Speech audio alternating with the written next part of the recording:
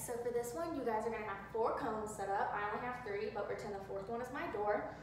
Um, so you're gonna have four cones set up and they're gonna be spread out much further than this. So between each cone is gonna be four big steps between all of the cones.